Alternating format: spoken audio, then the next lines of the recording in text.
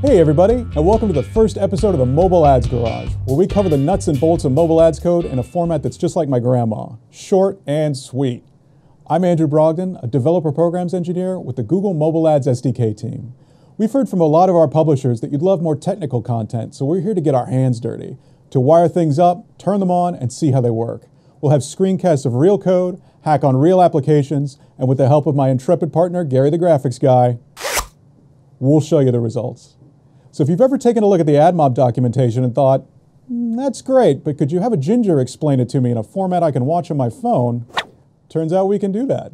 For our first episode, we're going to focus on how easy it is to get started with the SDK.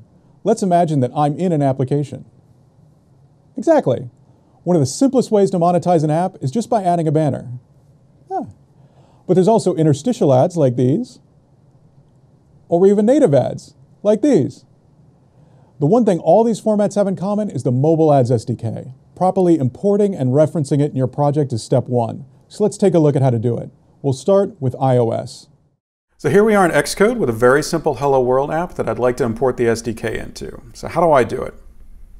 Well, here are the steps. I'll be using CocoaPods today. So the first step is to create or update the pod file. Then I'll run pod install, which will download the SDK and integrate it into the project. And then I'll open the workspace file that CocoaPods creates and I'll be right back in Xcode, ready to go.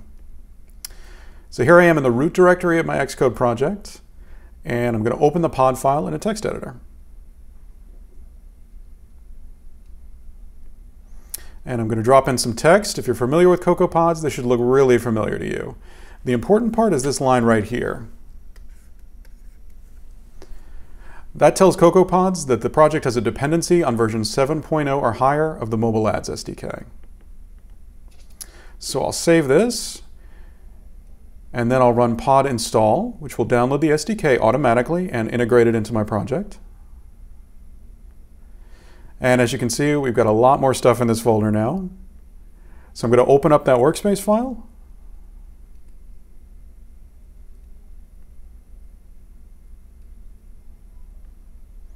And now I'm right back in Xcode. And just like any other framework, I can use an import statement to reference it in one of my files. And now that GAD banner view, which is an AdMob class, is properly recognized, so you know the SDK is in here. We've tried to make it as easy as possible to integrate mobile ads. Time is money, we're all about keeping costs down. For example, the garage behind me, that's not even a real garage. This is like a holodeck situation. What, I could be in outer space, or I could be swimming with the dolphins. Heck, I could even be backstage with Justin Bieber if I wanted to be. Gary, you gonna? Oh, legal didn't approve that, so I shouldn't even do the Bieber joke at all. Well, uh, legal fees aside, we try to keep costs down so we can keep your revenue up. Let's take a look at importing the SDK into an Android Studio project. Okay, so here I am in Android Studio with a Hello World app that I'd like to get the SDK into. So, what are the steps? For Android, there's just two.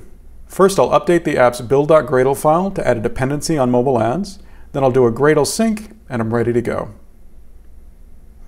Okay, here's my build.gradle and I'm going to go to the dependencies section and add a line. That's right down here.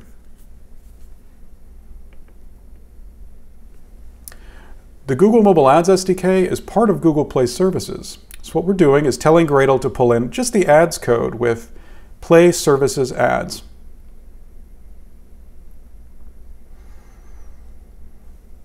And the numbers at the end are the version. You should always try to use the latest one. Now that that's done, I'm going to do a Gradle sync. That's where Gradle pulls in all the resources my project needs, checks all the references, and makes sure everything's okay. If this is the first time you've used Google Play Services, Android Studio might pop up a window and ask you to download something called the Google repository. If that happens, don't worry. That's just Android Studio and Gradle downloading the SDK for you. Okay, now that we've finished the Gradle sync, let me come back to my activity and try to use one of the SDK's classes. There we go. You can see it automatically suggesting the package and class, so the SDK is definitely in the project now. So that's it. Getting the SDK into a project is the first step toward displaying ads and earning revenue. In our next video, we'll cover how to use the SDK to display banners on both iOS and Android. In the meantime, I've got some great resources for you, like our AdMob Quick Starts for iOS and Android, which have notes for Java, Objective-C, and Swift. We also have sample code up on GitHub for both operating systems, so check those out if you're interested. You might also like AdMob's no-nonsense guide to app monetization. It's an overview of monetization strategies that includes code and tips from other engineers. If you've got a technical question relating to anything you've just seen, stop by our support forum. And if you've got a question about this video series or a tip on something you'd like us to cover, leave a comment below, and Gary and I will see you next time.